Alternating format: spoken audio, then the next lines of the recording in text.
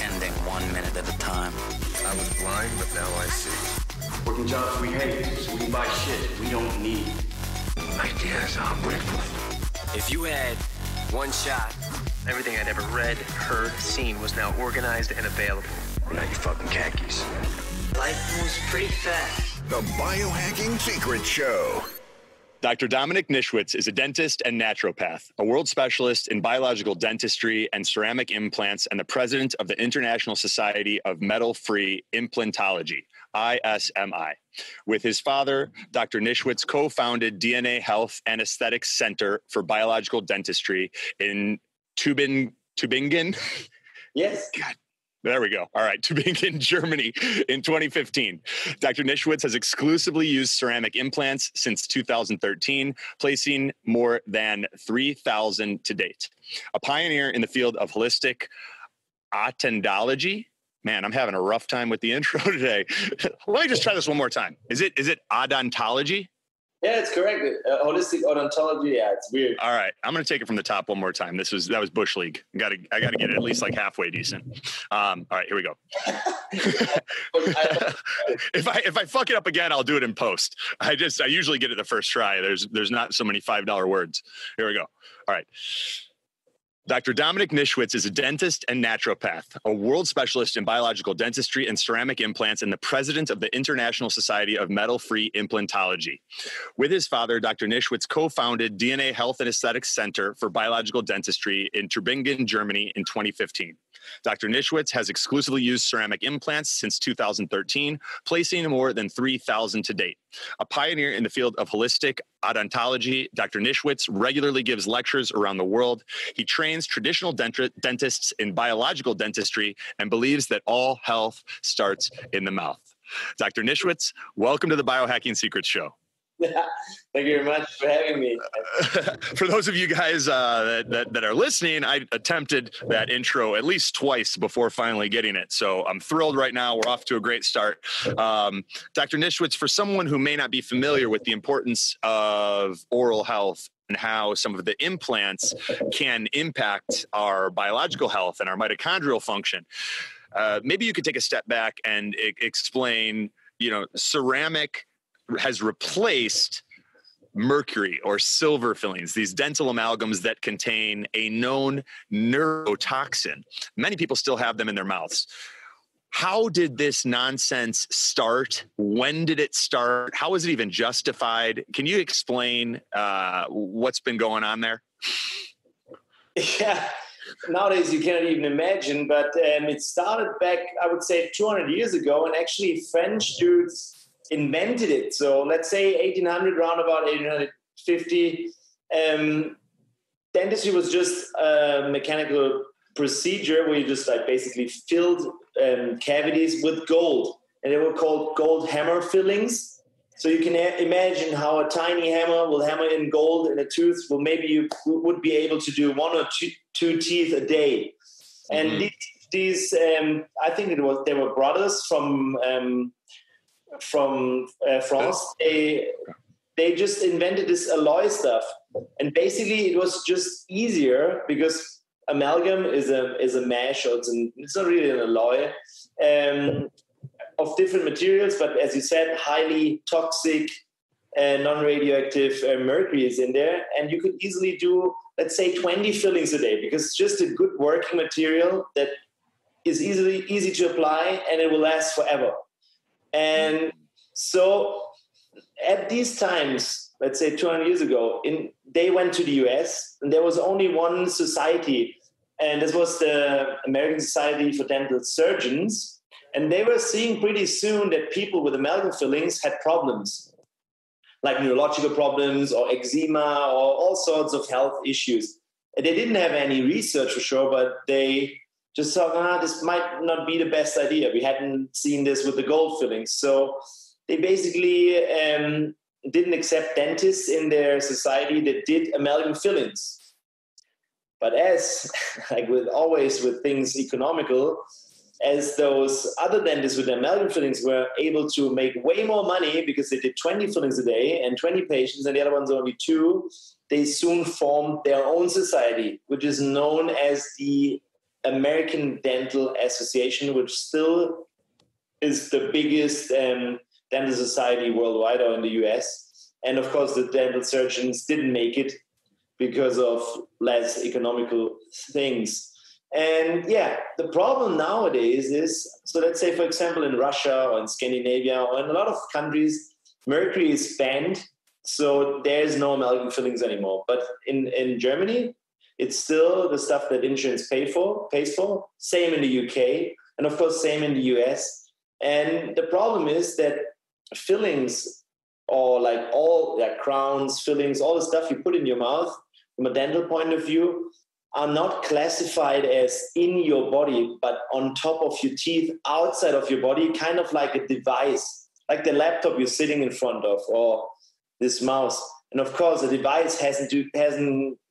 Yeah, you don't need to make a tough toxicology on a device. So this is how they justify it. I I, I know that the FDA is now uh, looking into um, maybe finally, um, yeah, yeah, taking mercury or like amalgam fillings out of business. But still, it's like 200 years known, and still it's a good thing to work with for the conventional dentistry, and it's subsidized. So that's the main problem. And as it's not in your mouth or not in your body, it's of course not a problem, you know.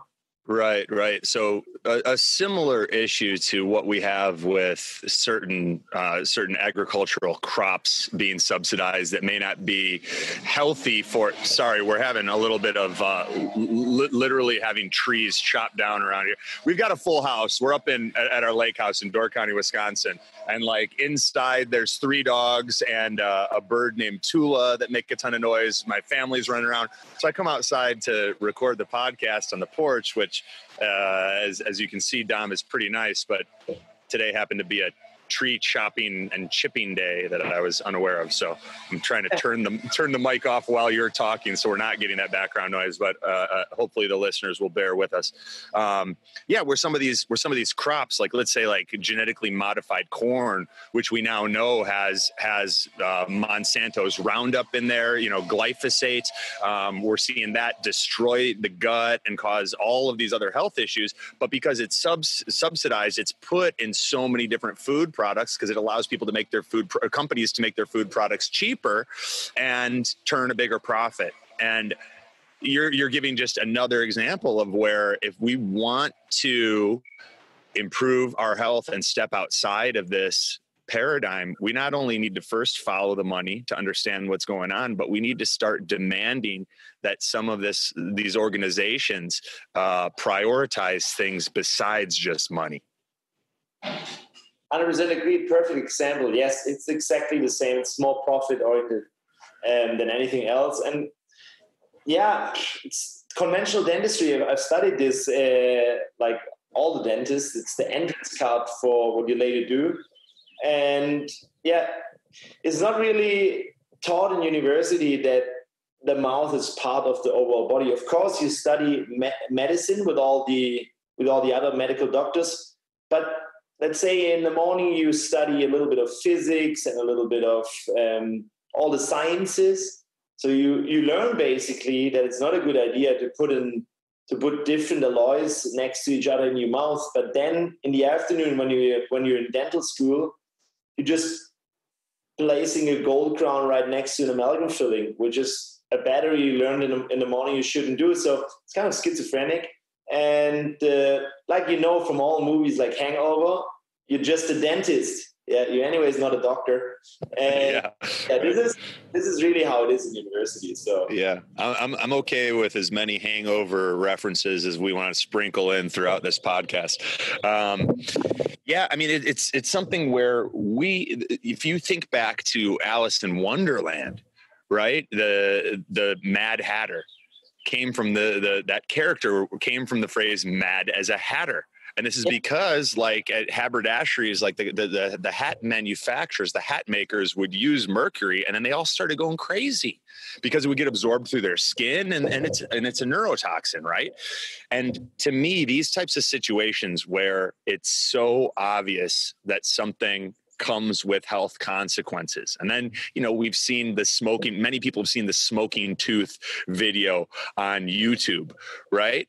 And and and we still have these organizations perpetuating this practice and not stepping in and saying, "Hey, let's use ceramic. Let's use something else." Right? It's it's maddening to me, but really it's on us to step up and look out for our own health and not just assume that these organizations always have our best interest in mind. Because there's a lot of examples where a lot there's uh, the evidence points to them wanting us to die a slow expensive death and eke as much out of each individual as we can. Fuck it, I'm going for the jugular. Let's do it. um, tell me, and, and it's something that's touched me because you know my dad has Parkinson's. He's he had a bunch of fillings in you know in in his mouth. We had those taken out a couple years ago, and we still need to do more heavy metal detox. Um, I wanted to ask you because I had an interesting conversation with the neurosurgeon uh, Dr. Jack Kruse, who's been on the Biohacking Secret Show episode number three, and we were talking, and I said, should you know we we'd had my dad's uh, amalgams, his mercury amalgams or silver, or, you know, silver. I'm putting that in quotes, whatever you, whatever you want to call it. Uh, we'd had his removed. We hadn't. My mom hadn't really wanted to deal with it, you know. Um, and I asked Dr. Kruse recently if she should, and he said, "I don't think so." He's like, honestly, he goes, I still have mine in he goes, I think it's a bigger deal for people that are dealing with major health challenges. He goes, but if you're if you're detoxing properly and you're exercising and sweating, he goes, and and and you have a, a, a good health status, um, not not a, a, super high priority. And I was kind of curious, what was what are your thoughts on that? I mean, I know there's uh, I, I, know you do this for a living, but it, it, it was it was interesting to me, and I thought I'd open it up for a little dialogue. I think it's bullshit and it makes no sense. Um, given the fact that he also is a dentist before he was a neurosurgeon and doesn't make any sense at all. So basically, Hal Huggins is one of the first biological dentists. And let's see like this the main source of mercury toxicity in your body is always your filling. Yeah, of course, the environment is loaded with mercury and other heavy metals for sure your body. And I agree with um, and pred- predatory fish, predatory fish, big fish, tuna fish, saltfish, whatever.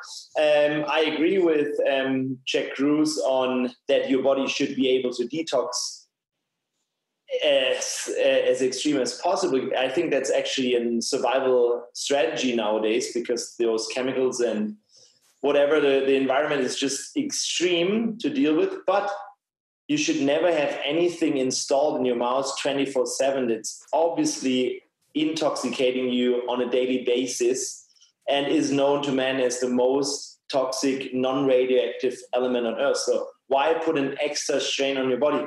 And i'm dealing with of course my patients clientele is highly chronic sick patients but also this is one side of the spectrum but also, of course, a lot of patients coming from all over the world for health optimization, biohacking, athletes, CEOs, high performers. So if you want to have a 10 out of 10, you cannot have these things in your body. Of course, you might be able to compensate depending on what Dr. Kruse said.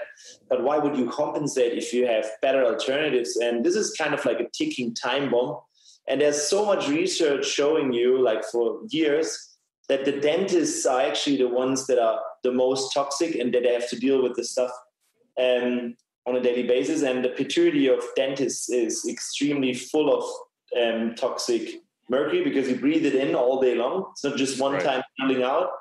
And this released when when I've seen it's released when you're drinking hot liquids like coffee and tea. Yes, it's getting released when you drink sour stuff, when you drink um, more acidic things if you go to a dental cleaning, if you brush your teeth, if you actually basically if you're grinding, if you're chewing, whatever, like it's two to three micrograms. It's like just air, like you, you mentioned the smoking tooth already. But if you know that it kills everything and it could be a, a problem, basically, yeah, accelerating every sort of symptom, I would never leave it in a body's in a person's body. And I was, I was a little surprised by his answer as well. That makes no sense. But of course, I don't know what he was referring to.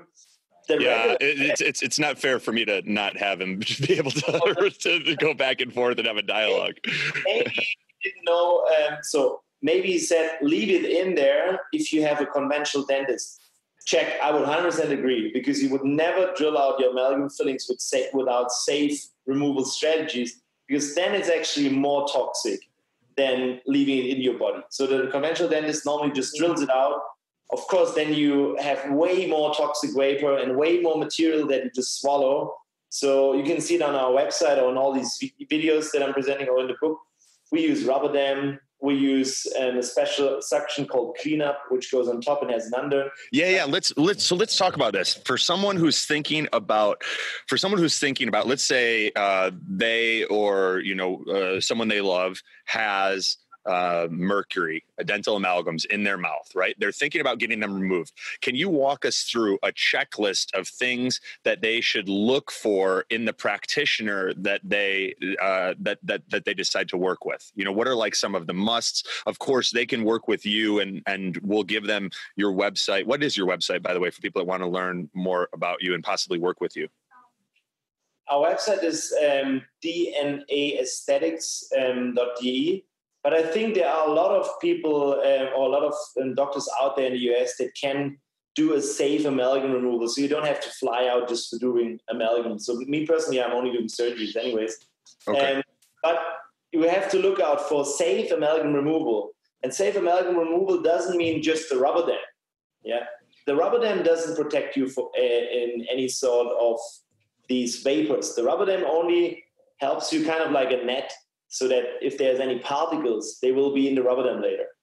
But mercury vapor goes through six um, six layers of um, latex, so this won't work. Then we use a special suction. It goes on over the tooth and has a as kind of like a I don't know you call it in English, but it will suck it up fast. It's called cleanup, and we we if possible we drill around the filling and break it out so that we don't even have any mercury vapor. We have a huge machine in front of the patient. It's kind of like a huge um, suction device. It looks like a big oven, and it, it protects the patient and of course me and the staff because it sucks up 99.9% of all the vapors. It's really this diameter and it's right there at the mouth. Sucks up everything that might be drilled. Yeah, like like round about this. About about the size of like a 16 inch softball. I would say it's a big. It's a big. It looks like an oven roll, uh, like an oven tube, and it, it, it's called IQ Air. It's an air purifying system, 99.9%. Um, then, when we removed um, the amalgam filling, we put something that um, binds uh, mercury from the dentin inside of the inside the cavity, which is mostly chlorella, or you could also go with uh, with um, activated charcoal or any sort of binder. For a few minutes, you will see that the tooth gets more white, and then depending on the health of the patient, we will most likely just start with a temporary filling, like a glass-ionomeric filling or something like this, not placing um, a new definitive crown work right away. Most of the time, you could, if it's a tiny filling, could do a composite or something like this, but mostly we will go with a with an initial detoxification phase so that your tooth doesn't get glued up with any like composites or ceramics, if possible. It's in the health activation week first, yes. So it's a lot of things. And okay, And and then once they're done, do you do you put them on some chelating agents? Like, do you do a protocol with with? Uh, I mean, we use sometimes Quicksilver Scientific Push Catch, which is like their liver sauce, and then and then some binders taken half an hour later. Do you use ETDA or DMSA, or what do you guys do then to help them move it out of the body? Right, because now you've got it out of their mouth, but it's still in a lot of the tissues, right, from years and decades of releasing. So maybe I have to go a little bit deeper here, if that's okay for you, because Please do. because it's it, i thought in the beginning let's say 15 years ago that uh, removing amalgams and metals will be the holy grail but it's not so you have I'd, I'd agree. From what I've seen, I'd agree. it's one part of the equation but the mouse has way more we call it oral interference field or root causes so what, what we do when you send in a planning for our virtual treatment plan we will look the, at the whole picture. There will be amalgam fillings or any sort of metal, if it's gold or titanium, whatever. We, we remove all metals for various reasons. We can go into detail later. Then we look for root canal treated teeth, which are basically dead teeth that are full of bacteria and other toxins. We and I've heard these. I've heard these can affect like the body's circuitry and energetic flow throughout the body. I will I will go into detail for in a second. Let's just um, do a little bit of structure. Root canals are dead teeth full of bacteria, and we we will remove all of them and replace with ceramics, so 100% biocompatible things. And the third thing is we look for chronic silent inflammation in your jawbone, which is called NICO, NICO or FDOJ, fatty degenerative osteonecrotic jawbone, which is not even taught in university, but it is a chronic silent inflammation on your trigeminal nerve. Um, it can happen when basically after all all extractions, but most of the patients in Western countries have their wisdom teeth extracted. Wisdom teeth because you're asking for energetics. Wisdom teeth from a meridian chart um, are connected to your adrenal glands to your small and small intestine and heart meridian, and the whole central nervous system gets crossed over there. So it's a huge area of uh, like chronic um, fatigue or eczema, small intestinal problems. It's really insane what I'm doing there on a daily basis, which is not even known. And it's also a lot of research there, but it's not in university yet, even if there are tons of peer reviewed papers. We can go into detail of all these topics, but I can tell you one thing because you asked about mercury chelation. I'm getting there right away. So we plan to remove all oral interference. Remove the source and your body heals itself. We do this after preparing our patients for at least four to six weeks with a nice nutritional design from macro to micro so that they come in boosted. The liver phase one, two, excretion, whatever is just top notch. We do loads of IVs, nutrition, hyperbaric, you name it, surrounding this week, where we remove everything with the goal of optimal health and install things that are neutral and biocompatible so that we basically um, get the patient's health back and then use all things recovery to boost and give him the nice design for an anabolic phase after this to build bone tissue and also integrate these implants for the next, let's say, three to four months. So you remove all the garbage. You remove that's a huge detoxification already. Being prepared for this and then chasing it with binders and having all the nutrients that help you with um, excretion and biotransformation will bring you it's it's a warp speed healing and you will feel on the next day you cannot imagine. And then because of the chelation you asked the first time we think about chelation or anything like this is when the first three or four months are over and the body was in an, in an anabolic state instead of catabolic and everything kind of like the basement is now healed well because your body will take all the nutrients to build bone and teeth and tissue and whatever and it shouldn't be used for a heavy detoxification because you know you will need loads of minerals to detox stuff, but you also need loads of minerals and protein to build bone and tissue. So first things first. First, get the source out. The worst thing you can do actually is chelating patients while there's still anything in the in your mouth remotely toxic, like the five things I just mentioned. Mm. Really critical. And I work with a, a huge database, a huge, um, yeah, group of environmental doctors like Dr. Dietrich Klinghardt, Thomas Rau, all the all the guys you see in root cause, all my friends, kind of, and on and partially also my mentors. And I learned from Dietrich Klinghardt that this is like the most crucial thing to do. Never start any heavy chelation before everything that is installed in your body could also be somewhere else in your body is removed because otherwise you're trying to upregulate something whereas the source is not out yet. That means you're standing under the shower trying to dry off but it's not possible yeah? Whereas if you detoxing heavy and you have the source in there it's even worse because you're just redistributing and you said your dad has parkinson. You might want to send his panoramic and i'm happy to do a preliminary treatment for him and just see what he needs to do because Parkinson's is a neurological disease, autoimmune, whatever, all these things. And of course, toxicity is a big thing there, and the mouse needs to be 100%. Otherwise, you can't climb the ladder of optimal health. It's just the entrance, basically. Thank, well, thank you, thank you. I may take you up on that because I'm I'm fascinated with what you're saying right now, and I'm thinking, I'm I'm sure that you're training a tremendous amount of biological dentists, and I'm over here thinking that you need to be training a lot more because you guys are approaching this not only I, I don't even want to use the word holistically uh, you're you're approaching this in a very innovative and aligned fashion, and I'm appreciating your approach as you're as you're talking through it.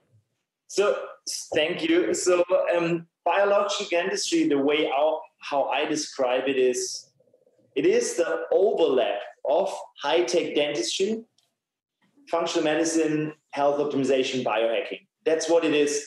And we train dentists with the ISMI, and we have 33 um, specialists for biological dentistry and ceramic implants trained. But this is actually mostly in the high tech dentistry level things. All the other parts that I was talking about with the nutrition, the micronutrients, the micronutrients, the recovery tools, all things optimization is where I need to, uh, so well start training right now. And actually, like you said, I need to train a full army because I won't cut it. So I can maybe do 30,000 surgeries. That's nothing. But if you train, let's say, a thousand dentists that are also interested in, like I say, the cool kid dentists that are biohackers that do all the things to help their patients reach top level. That's it. And this is a this is new school. You need new school dentists, and luckily I have a I have a troop of those, and yeah, we're just starting. Imagine we have thousands of them. We can do 30 millions of surgery. Of course, it's at the moment just repairing the stuff that dentists already ruined, like because we didn't know better but the future generations. So I don't know about you, but I have a few, I have three kids and a wife. So the goal would be that you don't need a dentist for repairing things because if your lifestyle and all the other things is top notch and you care about optimal health, you have perfect teeth. No need to remove anything or no need to go to cleaning, or not even need to brush your teeth if your diet is on point.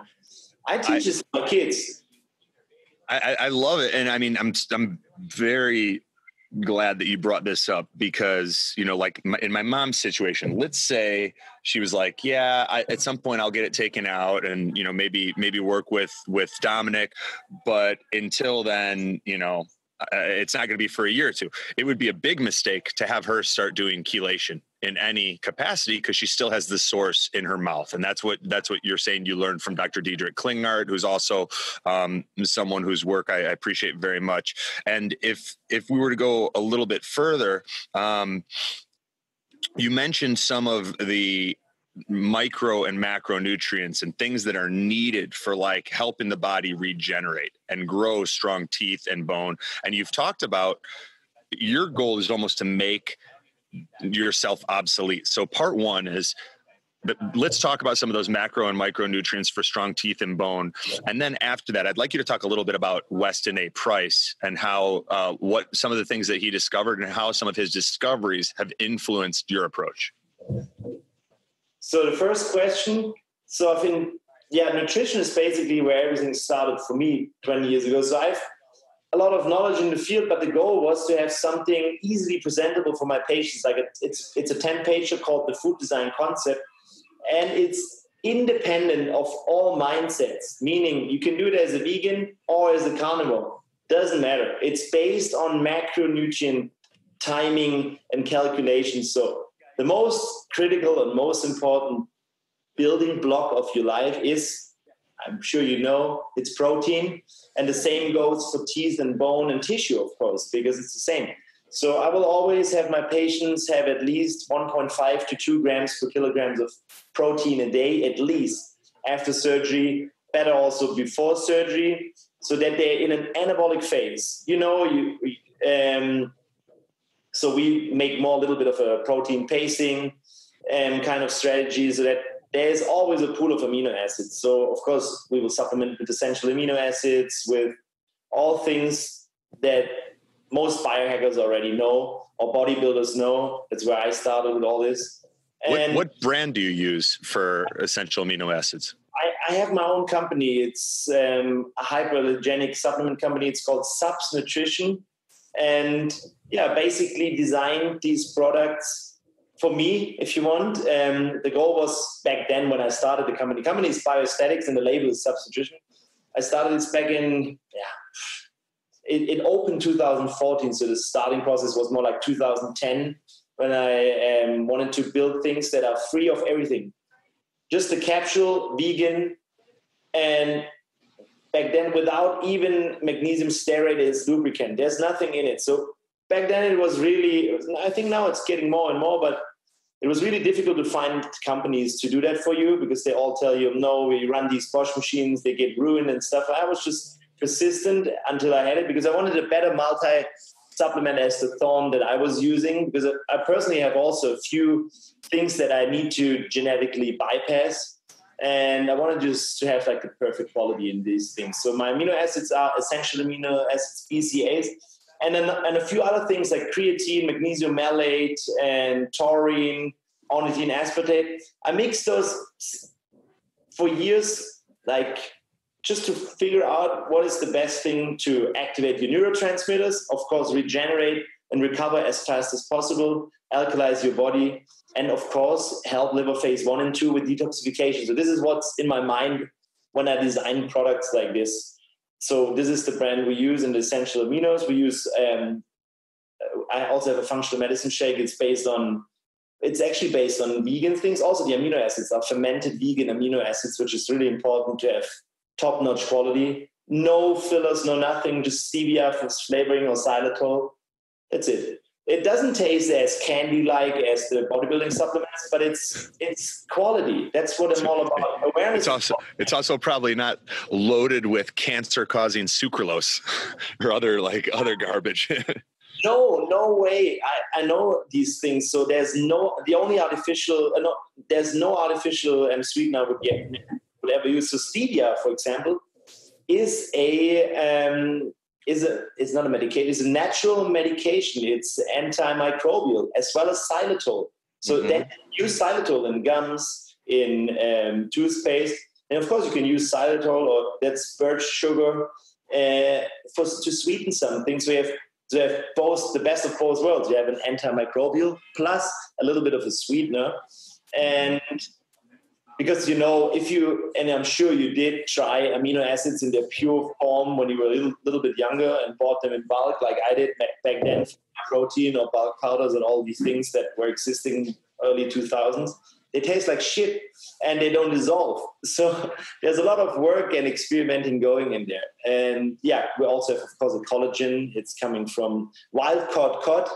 So those are vikings i met that just uh, fish their cod in Norway or like up there, and then just prepare it on site. That's it. And that's what we put in our collagen. It's not made from any leathers or any bad things. It's a little bit of acerola uh, cherry vitamin C in it. And the functional medicine shake is basically is based on um, um, brown rice protein. It has probiotics and prebiotics. It has glutamine. It has a, a few different things that you need to repair your gut system. So it's an overall stacking system so that we start from macro to micro and we don't need like a millions of supplements, but let's say two handful and you can have everything. So I've invented a bone healing protocol, which is based on 20,000 IUs of vitamin D3 daily before and after surgery. My, the goal is always to have the vitamin D3, the 25OH above 70 nanogram. So, uh, you guys sometimes have nanomoles, so you have to multiply by 2.5 or divide by 2.5. Why? Because then bone building works pretty well as a synergist. And of course, you know that cofactors like magnesium and vitamin K2, all these activated B vitamins for methylation and all these things. It's all included in the protocol just to make it top notch. And you don't, because you know, nutrients work in synergy. You can't just give high doses vitamin D3 and expect that everything is perfect. You need to know how to fine tune things. I always say nutrition is the motor and micronutrients are AMG tuning. You know, AMG from Mercedes. Yeah. Mm-hmm. And that's how I think about these things. So from macro to micro, I'm a big believer yep. in food first for sure. G wagon, G wagon, G wagon. Um, I love it. yeah. you got a G wagon? Oh, nice! I love it. I love it. Those are beautiful cars. Yes, um, the old one, the like the really rough one that you can throw down from 15 meters. and it will still drive like back. Yeah, it's a military car basically. Heck yeah. That's it. All right, you're gonna you're gonna have to text me a picture after uh, Yeah, after after we're done.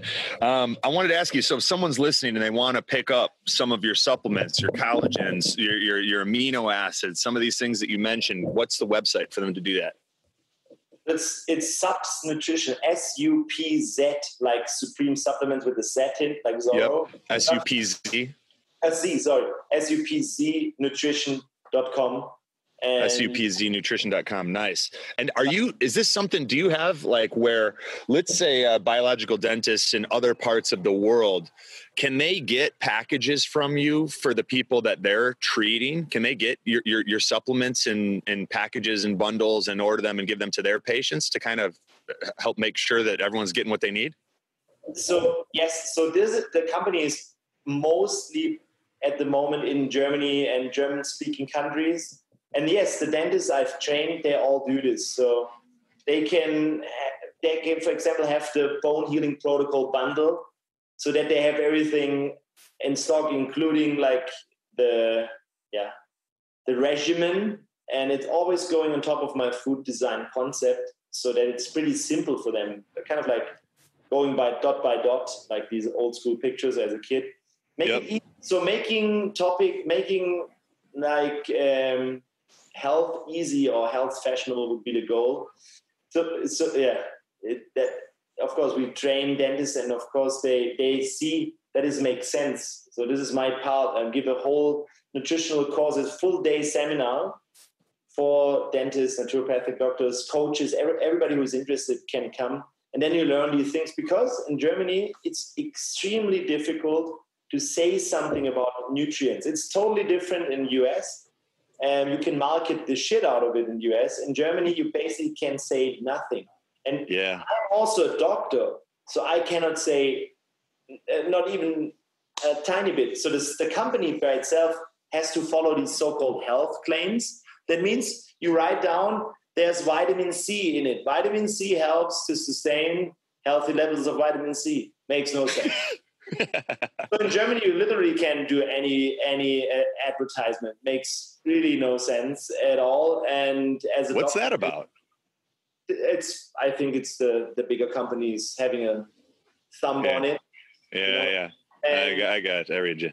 and yeah, that makes it quite difficult because if people know that quality exists and there's also a doctor behind it formulating it and handpicking the stuff that's in there, it's quite valuable for these people. So we just started a year ago or two years ago to go a little bit into like everybody because we thought, well, why just give it to our patients or the other dentists for their patients? Everybody should get um, this kind of quality. So yeah, it's a little bit difficult to show, but it's growing and it's a fun project and it's one of my babies of a few companies besides Yeah. And Yeah. they're all health related. This episode of the Biohacking Secret Show is also brought to you by the Organifi Biohacker Bundle. Organifi makes the best selling greens juice on the market, but they also make an incredible gold juice that I drink almost every night before bed, a red juice that's loaded with antioxidants and phytonutrients, and a really delicious vegan protein. So we created the Biohacker Bundle as a way for you to get all of their best selling products the same way that I take them on a daily basis. I do the greens in the morning, I do the red in the afternoon as a little pick me up, I use the protein post workout, and I do the gold at night before bed to help wind down and decrease inflammation from the day so that I feel more cool, calm, and collected going into a deep, restful night's sleep. I love the Biohacker Bundle. It's, a, it's been a game changer for me. And if you guys want to check it out, we've hooked you up with a nice discount on all of those products. To get it, you go to organifi.com forward slash biohacks. That's O R G A N I F I dot com forward slash biohacks now. Tell us a little bit about Weston A. Price and some of his discoveries and how that influenced your journey and, and your, you know, process and practice today. Yeah, Weston A. Price is it's the the first biological dentist, and yeah, I read his book Nutrition and Physical Degeneration years ago, and it was just obviously that he was just experimenting and just being logic like I was. It resonated with me because I was in university. I was also asking why am I learning this? Who invented all these things? And he was just back in the days looking at root canals, for example. This was his thing. Root canals.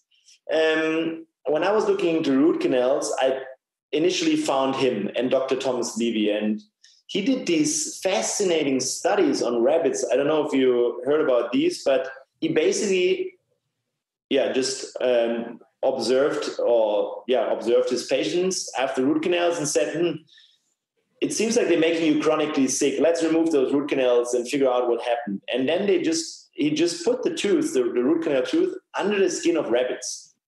And the rabbits developed in 80% of all the cases the same tim- symptoms. In heart disease, it was 100% the same symptoms. So he um, he postulated or um, hypothesized that it has something to do with any sort of microbes or toxins living in these um, root canals. He did this for 30 years. He has a huge compendium, and he was actually a very well known dentist back then.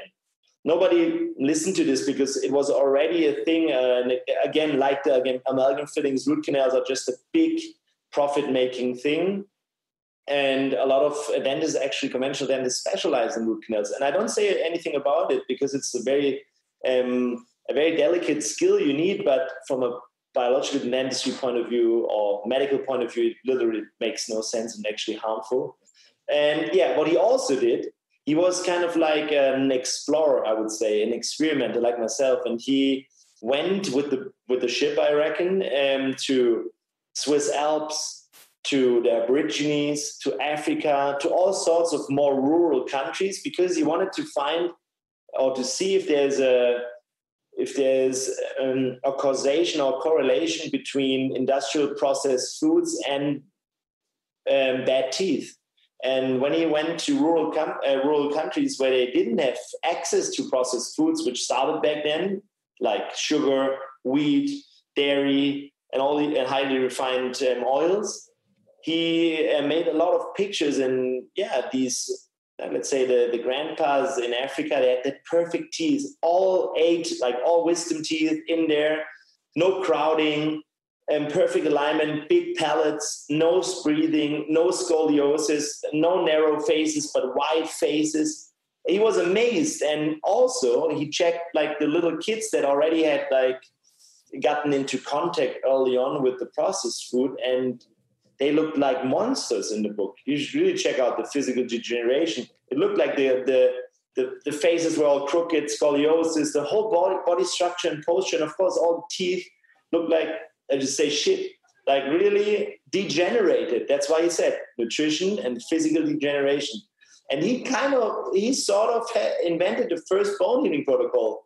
And he didn't call it that way because he just said, okay, to regenerate teeth, what they did in the what I, what he observed in these countries was that they was they were all eating some sort of um, cod oil or, or fish oils, and he didn't know back then, but it's vitamin D3, of course, we know. And also, they were eating lots of butter from grass fed cows, basically. So he said from cows that eat fast growing grass.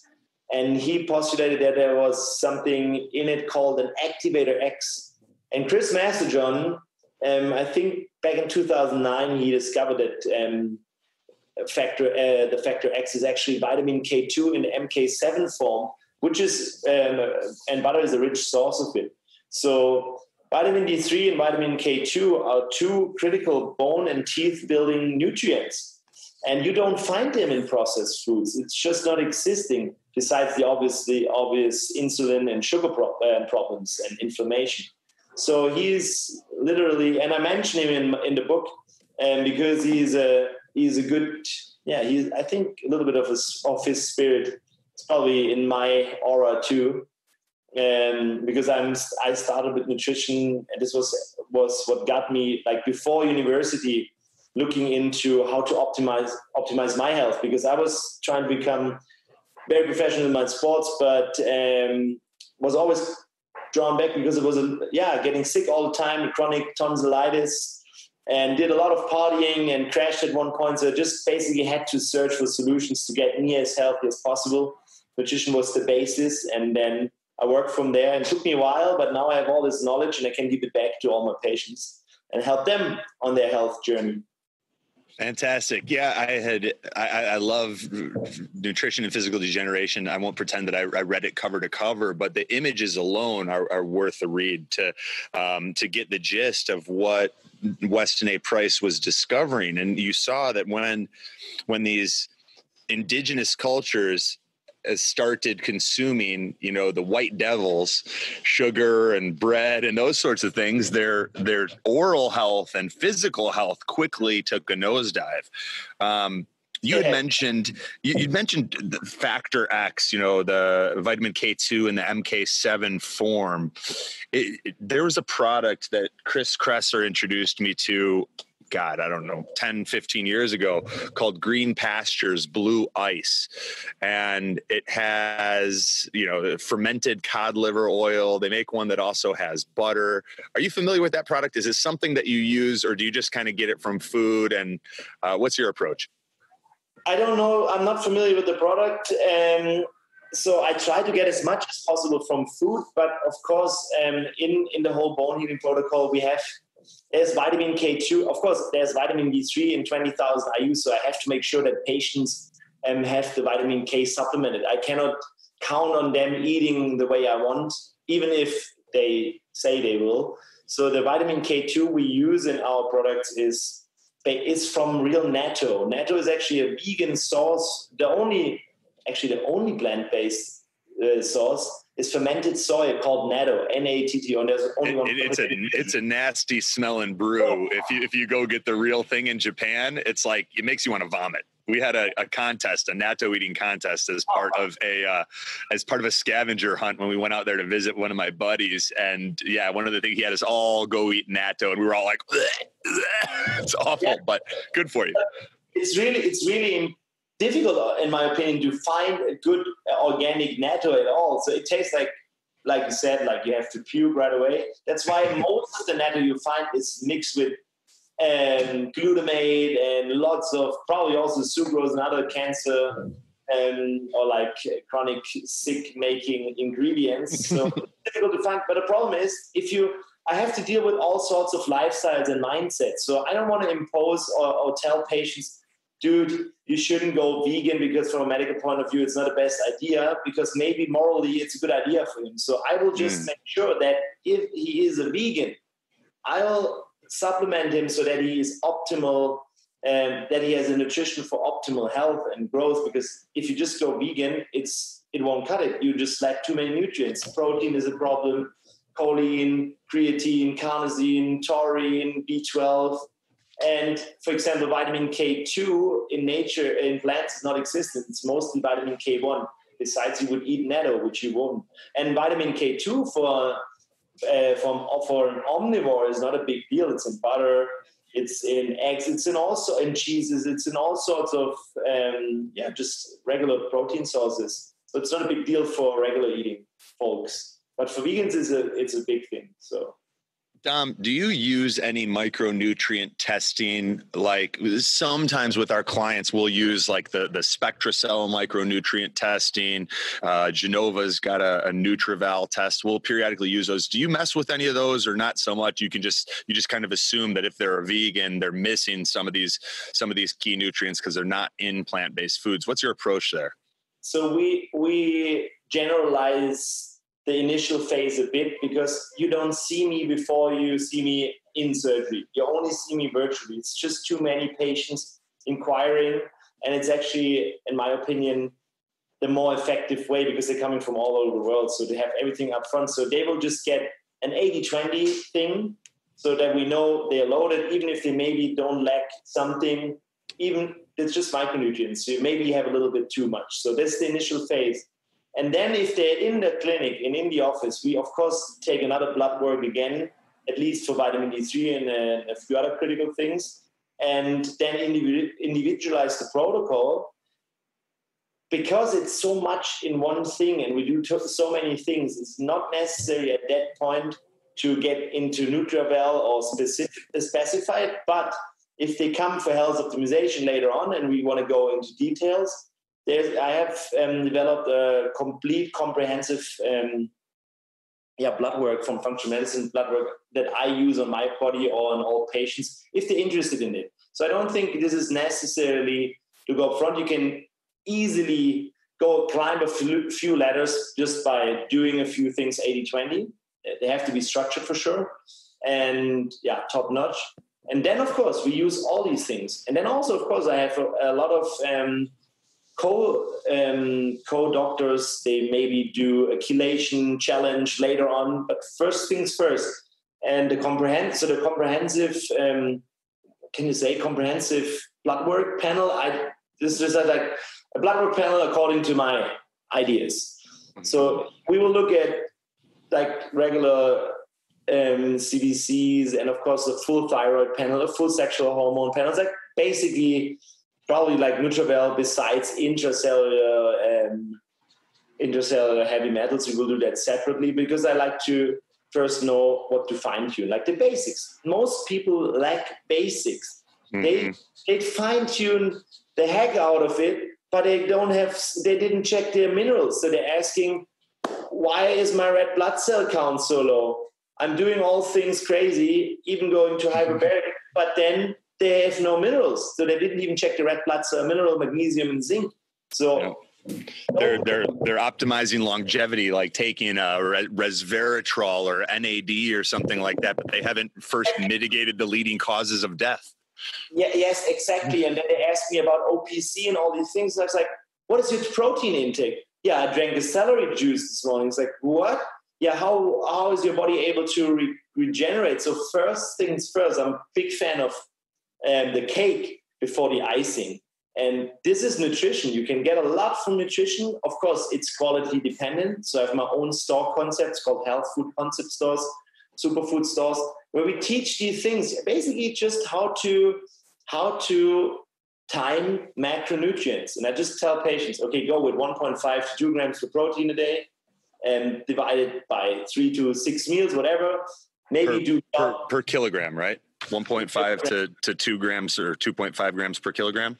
I would say to 2 grams. So if you're bodybuilder, okay. you can go even higher. If it's a huge case, you have lots of surgery, to, you can even go higher. I don't see a problem in going higher. I'm also not... Provided digestion's good. Of course, but the digestion starts in your mouth. As long as you have all these things we talked about in your mouth, you have a dysbiosis, and you have so many toxins, you have a leaky gum, which starts before leaky gut. So gut, oral microbiome first, and then gut microbiome. If you have an oral microbiome dysbiosis, by having all things installed, you have a gut dysbiosis. It won't make any sense. So you have to stop. Look at this. You eat here. This is your gut entrance. This is where saliva comes in. This is where the enzymes come. This is where, you, where your foods get digested. And this is where you swallow things. And then there will be the stomach, small intestine, large intestine, liver, all these things. What do you think if anything leaches out of there toxin wise or like you lack nutrients? Health actually starts in your mouth. And in functional medicine, this is still an area where, um, yeah, where it's not talked about. It's kind of like you go to a course, you learn about nutrition, about information, about all these things, about the whole health matrix. But, and maybe, oh, there's dentists and there would be, you should, chelate um, heavy metals but what about the full mouth thing? Why didn't you not check there? And about, the, for example, Tom Levy or all these doctors say at least 70% of all chronic disease starts in your mouth. And we're living in the epidemic of chronic disease. So, COVID, for example, um, you know that insulin resistance and all these things. Uh, low, have, low vitamin D, 10 times increased risk of death from COVID. Yes, low vitamin D3. So we optimize this already. Then 10 times higher risk of COVID when you're insulin resistant or have any sort of metabolic. You want to know why insulin resistant is also related uh, with things in your mouth? Do you know? No. So, in your mouth, let's say a root canal or these cavitations, you will have an ongoing cytokine storm or ongoing cytokines like TNF alpha, IL uh, interleukin 1 beta, IL 6, and also in these in these um, jawbone areas, you have this cytokine called RANTES, which is more like a chemokine. And RANTES blocks the insulin receptor, as well as IL-6 blocks the insulin receptor. All sorts of heavy metal block your insulin resist, uh, block your insulin receptor. So it's all the same. All the topics you listen to in biohacking and in functional medicine and health optimization in all our field is the same in your mouth, Besides that, nobody's talking about the mouth because it's still the part for the dentist who doesn't get the health optimization part. So my view of an optimal doctor is a health optimization specialist who then happens to be, let's say, like my, me personally, also a specialist in oral surgery, or a specialist in hyperbaric, or a specialist in knee surgery, whatever. But the code on how to optimize health and longevity should be should basic for every coach that has to deal or every doctor that has to deal with health. We're treating health and optimizing health, not uh, um, not treating sickness or looking for um, yeah prevention of sickness. What is it like? A sick care system, not a healthcare system. I, I heard something like this. So absence of disease is what you learn in university. The goal for all my patients when they come to me and get treatment plan is how can I make sure that this patient optimizes the health and how can I make sure that everything is as clean AF as my man Tim Gray, who hooked me up with you. Yeah, and, Tim's and Tim's fantastic. He would always Fantastic. epic AF, like F. Tim, for for the listeners, Tim puts on the Health Optimization Summit in uh, in London, correct? Yeah, he puts it in, uh, up in London, and Tim basically is in it for his health optimization his, himself. So I'm allowed to talk about him. He's also my patient. We actually did surgery today for him. Oh, nice. yeah, I had to remove one more mercury toxic tooth because his whole journey in the field of biohacking and health optimization started with mercury toxicity, like we started our podcast an hour ago. And Yeah. he found out all various things, went to see loads of dentists and all things biohacking, kind of like in the movie Root Cause. And then at one point got introduced to me by our German fellow biohacker called Max from Flowgrade.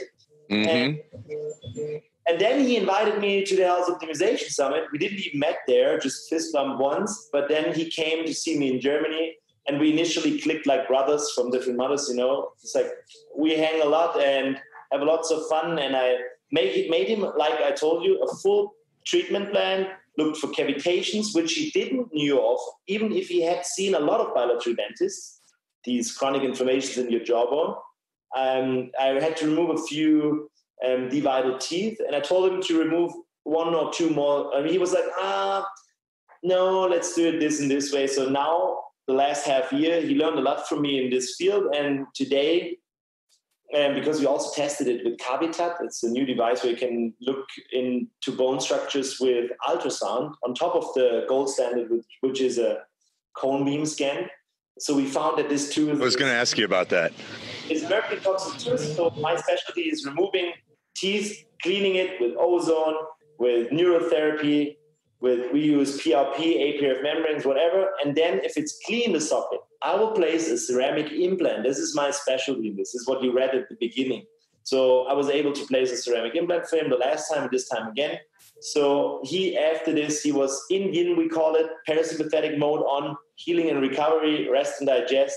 He looked like stone. He felt like stone. He will heal and he will detox like shit because these things hold your body back. You take it out like a splinter, your body starts, organ function works better, and you need loads of binders. And of course, we do binders a lot, but no active chelation. Just optimize your body's endogenous, um, yeah, let's say, uh, sanitary work in the liver and in the colon and whatever. So. Yeah, all all great points. I was going to ask. Um, I, we have some rapid fire questions. I want to be respectful of your time too, but you're covering so many uh, so many great topics. You, you've mentioned cavitations um, and the cone beam. You've mentioned root canals. We've talked a little bit about about both of those things. Um, I feel like they're they're a little bit ambiguous and overlooked by many people. I, I did a cone beam knowing that it's the highest, and correct me if I'm wrong here, but my understanding is that it's the highest dose of allowed radiation by the FDA. Um, and it's, you know, your head, right? I still had it done because I wanted to make sure that I didn't have any dental abscesses or, or cavitations or anything like that. Do you believe that the cone beam is a powerful tool? Do you try to only use it when necessary? What are your thoughts around that? Oh, because I'm a surgeon and because I look for these um, root, root sources, I have to do a cone beam also legally. But the cone beam, in comparison to a CT, is a CT is factor 100 in terms of radiation. So a cone beam is a lot of radiation. It's kind of like one flight to the US, like long one long distance flight. Okay. It's okay. You, I think you can That's compensate. It's not too bad because it's all digitally nowadays. So right. early, like these old school panoramic X-rays that were analog, this was the same dose. But because everything is digitally, it's way less um, radiation. But still, of course, you don't do a cone beam like all the time. But if you have to do surgery, then you have to do one. And uh, yes, we do this. It's the gold standard. And I think every good surgeon needs to do a cone beam because you want to make sure that you don't, um, first of all, miss something because you cannot diagnose any cavitations or any cysts around teeth perfectly without it. And also, of course, because you don't want to hurt any structures like your nerve. Um, this is why cone beam is mandatory in our office, and it will always be done when you when you come in. So the first initial thing, the first initial treatment plan will always be with your panoramic 2D. It's just preliminary. We fine tune it when you're in the office, and that works perfectly. That makes sense. And for someone who's not familiar with the cone beam, or, or you know someone new that walks into your office, how do you explain it to them? so they know it's on my website. It's explained. It's a three-dimensional um, X-ray basically, and it only does. In this case, it's only doing the jaw, and it's kind of like a CT scan, but just way less radiation to see a three-dimensional um, image of your whole jaw structure. You can see like sliced the whole jaw, upper lower. You see your sinuses three-dimensionally. You see the nerve. You see everything which you can see on a regular, a regular panoramic or regular tiny image, a dental image, is two dimensional. You, of course, you cannot see what's behind it, what's underneath it. Yeah, and you need this, for example, for these cavitations, you cannot see on a on a two dimensional picture. Sure. Yeah, I had I had uh, taken a baseball to the face, playing. Uh, I was playing third base going into my freshman year of high school, uh, and you know I was anyway, long story short, baseball hit me, broke my jaw, and I, I lost this tooth here. Which one? This one. You have a bridge? Yep, I got a bridge there. And I wanted to get the cone beam because I was doing a nasal rinse. You know, some warm water with saline and I put a drop of uh, Johnson and Johnson baby shampoo in there and I mixed it up and I did a nasal rinse with it and I felt my whole jaw like where it had been broken, like almost start bubbling, like when you pour hydrogen peroxide on an open wound. And I was like, that's not normal, you know? And uh, and so I went, I got the cone beam, and they said everything was everything was kosher and and good in there. Um, but yeah, I figured, you know, with the missing tooth, with a broken jaw, I could have a scenario that that may be harboring certain pathogens and things that could, as you mentioned earlier, lead to cardiovascular disease or whatever on a long enough timeline. Um, do you a couple rapid fire questions? What are some of the foods that you most often recommend that people aren't eating? Probably broth is um, like collagen rich foods, organs, and fermented stuff. Braunschweiger, liverwurst. Yeah, I love liverwurst. Me, Me too. We got some inside. It's fantastic. I just yesterday I just showed Tim a, a real German liverwurst, the gray one. Yeah, and it's without preservatives, without nitrates. It's just pure stuff. It tastes so good, so natural. But of course, you have to like stuff like this.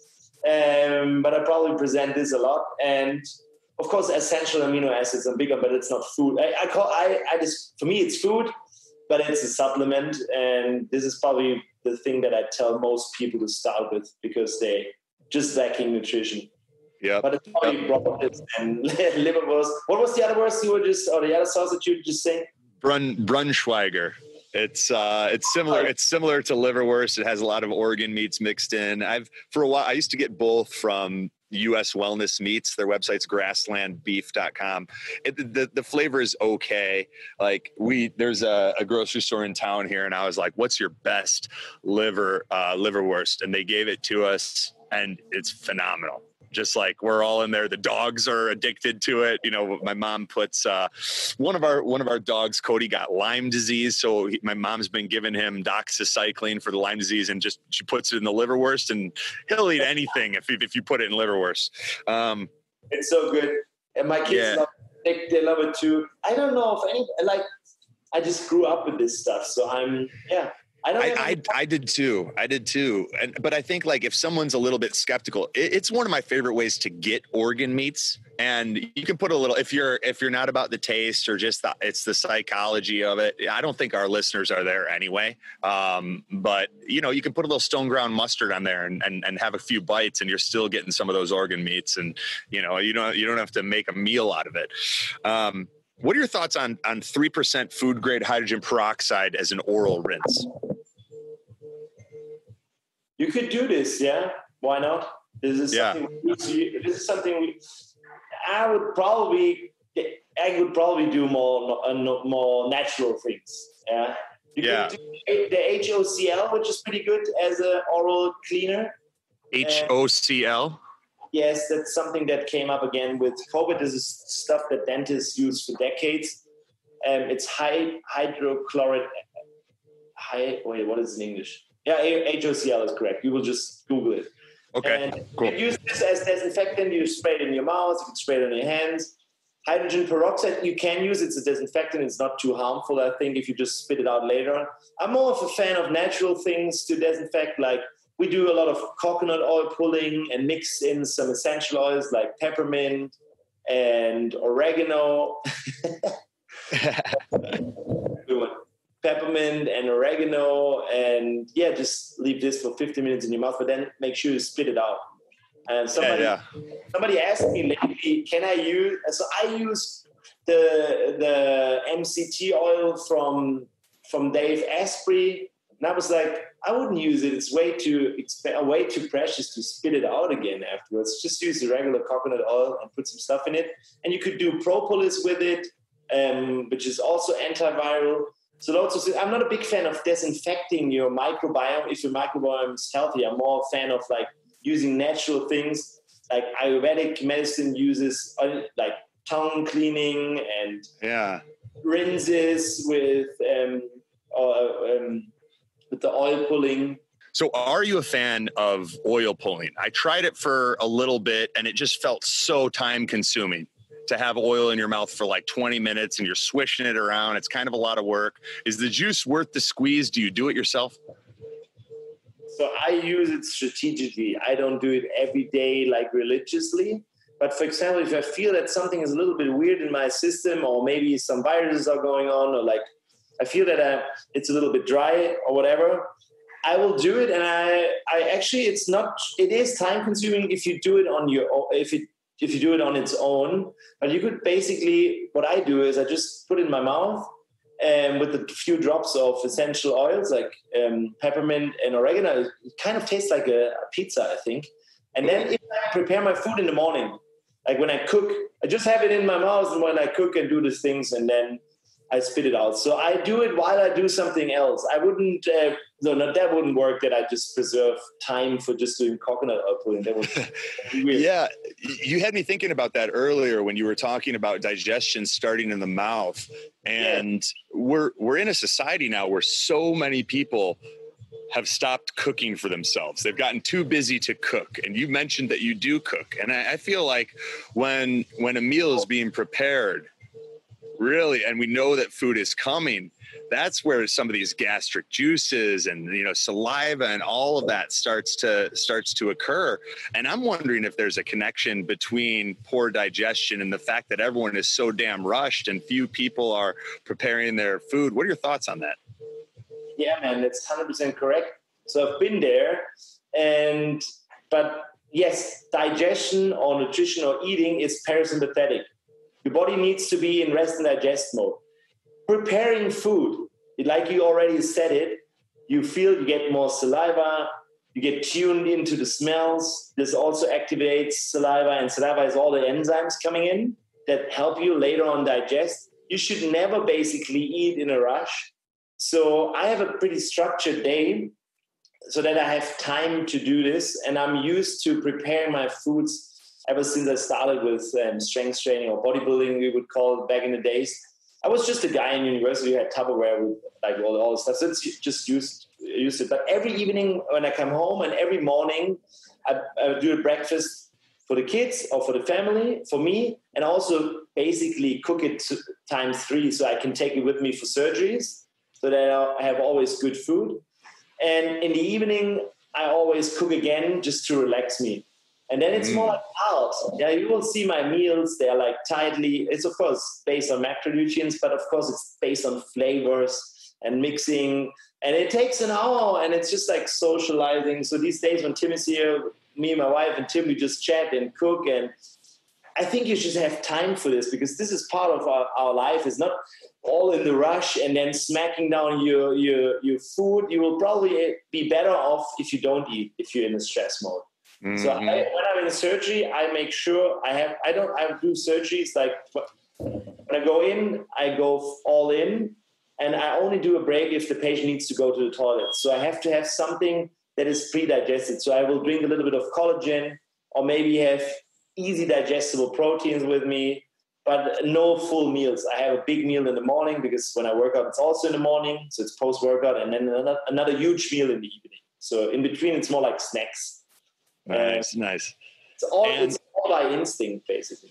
Right. Uh, uh, yeah. Sort of intuitive eating, intuitive feeding that's the goal for everybody that if you finally get it but what basically you have to retrain all these people because they're so brainwashed and i've been there so i'm doing this i've just 20 years on my back in terms of this so i have had time to experiment but the goal is not to track any things with a goal in mind that you have to have these macros and this and this and this so then, what you could do is like you eat the stuff that you love of course you take care of the health yeah no no crap foods i don't eat any crap foods at all but that doesn't mean I don't eat carbs or something because people are afraid of carbs. People are afraid of fats. They just don't get it. It's just a protein, the building block, carbs and fats are energy sources. You just, I just don't mix them. I just do protein carbs or protein fats. That's basically it. And that works well for my digestion. And intuitively, I eat, you can, I actually attracted lately with MyFitnessPal, but just at the end of the day, I just wanted to see what I really eat in a day because Tim or other people, they were just saying, dude, you eat like a machine. It's insane. And I literally I eat. It's not too much basically. I eat about three to five thousand calories a day, and it's about more like three grams per kilogram of protein because I'm just hungry on protein. It was always like that. I don't like too many vegetables. I didn't eat it as a kid. I eat them because I learned to. Um, and carbs is depending on sports. I'm more a carb guy actually. I've been in the ketogenic thing 15 years ago, tried the lower carb and everything, but it's about 200 to 600 grams of carbs a day and 50 to 120 grams of fats depending on my days. That's it. And it's just by intuition, and I could even do more. nice, nice. Do do you floss, and if yes, how often? No, I don't floss. I, I think it's stupid and in nature you wouldn't floss and the problem is you, you, i would use a floss in one equation if i have meat or something stuck in between my teeth and it will rot in there then i use something a, a toothpick or floss but the problem is most people that i see using a floss are not as skilled with their hands so they just rip it in and they bleed oh i'm bleeding and then basically the good thing is they will, they will stop because they bleed but the problem is with the floss and you bleed is that you always rip up the rip off this tight junction which you have. So the gingiva, your tissue here, the gum, is mm. your is outside body like this skin. You know, if you have a cut in here, you have to make sure that there's no bacteria coming in there because this is leaky skin. Then we have leaky gum, and in the mouth, it's in the gut, it's called leaky gut. So you're basically opening for all the bacteria that live in your mouth, and it's way more than bacteria that live in here when you cut in something and opening into your bone and into your insides. So leaky gum before leaky gut. Should check out my Instagram today because basically the funny thing is I have one post and it's saying oral microbiome first, gut microbiome second. And I'm explaining a little bit because it's yeah, it's the same. It's like you know that enterocytes or the gut system is basically outside skin. And if it's leaky, like this skin or like this skin, it's a problem because pathogens and undigested food, whatever comes into your system, you get allergic. just think a step further. You have the same in your mouth. I just call it leaky gum. It's not existing. I just point the word because I say that so much. Beautiful. What's your Instagram? It's my Dr. Dom one, D R D O M E with a one. Nice, nice. Do do you use electroacupuncture according to Voll as a diagnostic tool or in your practice? We don't use electroacupuncture because Voll did the full, and we know which tools um, is according to which meridian because of Voll. And what we use, we so I'm trained by Dr. Klinghardt, so I'm trained in autonomic response testing. So we mm-hmm. are to test everything, muscle tested. It's an elaborate system that Dr. Klinghardt um, invented. Besides just strong arm and weak arm, it's a little bit more detailed, just to find out. But of course, we use all things technically we have, and then use this to fine tune. Beautiful. And if if I were a, a, a patient and I said, Doc, what what toothpaste should I get? What toothpaste should I use? What would you tell me? Oh. So, in my opinion, there is not yet the perfect toothpaste. I've seen a few that are pretty good. Just go fluoride free, no brainer. Titanium dioxide free, no brainer. I would I would just go to Whole Foods or any sort of health food store and find these things or Google online. Um, good things are often on a coconut oil base. You, you can find loads of um, DIY recipes on the internet. And there are also a few tooth tooth powders, I would say. It's not like paste, it's powders. They also contain some Ayurvedic herbs. So they're good strategies that you could use, but just go with no chemicals if possible, because that's nothing you need. Beautiful. Last question. Someone who is listening, them or a loved one is going to the dentist and they are wondering if they should get fluoride. What is your answer and why? No, no fluoride. Why? Because it's just not necessary and it's really toxic. Fluoride, um, yeah, of course, the theory for dentists is that fluoride will form some hydroxyapatite and just goes into your teeth and makes them stronger. But this is based again on, I don't know, any sort of research sponsored by the companies that produce fluoride toothpaste. It's literally not healthy. It forms various um, salts in your stomach, like that are really toxic. And it's, yeah, I would never use anything remotely toxic in my body. Of course, the dentist will tell you you will spit it out, it's only tiny bits. But if you don't need it, why need why use it? If you can go with natural things, and your tooth should be hard as stone, that's for sure. But would you want to have any chemical in your tooth? Or you want to have maybe magnesium or minerals that you eat or that you supplement in your tooth? I go with the latter. Go in the sun. Sunlight will make your tooth go strong. You sit in the sun, dude. I'd love to. All, all, all, all day. I was all, in all day. yeah, nice, nice. Uh, Dr. Dominik Nischwitz, this has been fantastic, brother. I appreciate you. I, have learned a lot, and uh, give, give you some some knucks through the through Zoom. Where can people follow you? It, it, you? You mentioned the food design concept. Is that something they could download? Where do people need to go to get more of you and stay up to date with things you're working on? Yeah, you can find a lot of things on our website, the DNAesthetics that you can see in the Dr. Dom link tree or tab bio. There's a few links in there. Um, websites, articles. You can see it on the bodies like the International Society for Metal-Free Implantology. You find a lot of these knowledges in Instagram because I designed my Instagram to be a health magazine. And there's a lot. Go just go a year back and follow this. There's the whole food design concept basically in there and as easy as possible. And of course, you find me on YouTube. Dr. Dominik Nischwitz is the name. And I will certainly, you will probably send me an email. I'll send you everything for the, sh- for the show notes if you have that if that's that, that, that, would be wonderful. We'll include all that stuff. And Dr. Dom, it's been great hanging out. Appreciate you. You're wise cat. You're doing great work. Let's let's get at least at least a legion of thousands of other biological dentists doing this because it's an industry where if I were to give my honest opinion from the stories I've heard from people, there's a lot of folks who are now calling themselves biological dentists because it's kind of trendy, but they're not really doing anything in the same ballpark of what you're doing. And the more people that you train, I think the more good can be done. And the more people can once again start trusting the folks who call themselves biological dentists. So thank you for what you do. Let's, uh, let's, let's keep doing good in the world.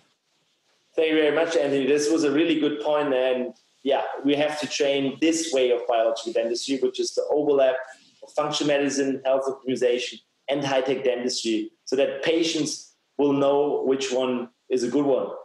I totally agree. And guys, if you if you're listening and you're seeing a dentist that um, is o- an, o- open to learning, maybe give them send them this episode. Ask them to give it a listen. Ask for their thoughts on it.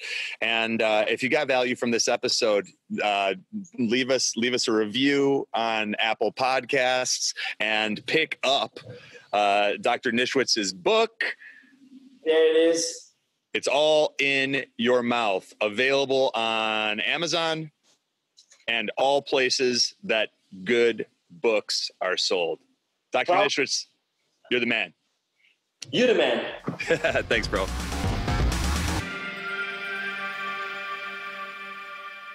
What's up, guys? Anthony here, and thank you so much for listening to this episode of the Biohacking Secrets Show.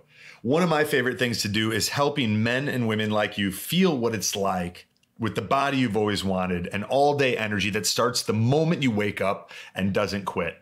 Over the past decade, we've created a proprietary health assessment that helps me to identify the unique toxicities and deficiencies that may be holding you back from the life that you deserve. And what we've discovered in doing this with now thousands of CEOs, executives, professional athletes, businessmen, Hollywood celebrities, and entrepreneurs is that there's always room for improvement and optimization. Whether you're already performing at a high level or you have that feeling inside your heart that you're capable of more, the single fastest way to unlock your potential is to upgrade your mind and your body. And there's no program on earth that does that faster or to a greater magnitude than our one on one consulting program at www.biohackingsecrets.com forward slash coaching. We start with our proprietary health assessment that screens you for vitamin deficiencies like A, D, magnesium, iron, etc., high cholesterol and heart disease, high blood pressure, digestive disorders, hidden infections like Lyme, Epstein Barr, parasites, SIBO, Candida, and more that can just drain your energy in the background, especially if you don't know about them. Anxiety, depression, and cognitive disorders, autoimmune disease, adrenal fatigue, thyroid issues, mold toxicity, heavy metals, environmental toxins, and other genetic risk factors like MTHFR, APOE status, your glutathione production, and many more. We even recommend the specific tests that I use with my one on one clients if they're relevant for you in figuring out your biological age and identifying those key areas and opportunities that can take your life to the next level. From there, we create a customized game plan along with a personalized supplement protocol to help you optimize your weight and energy at the cellular level. And for our platinum clients, we even include a personalized workshop with me in Delray Beach, Florida.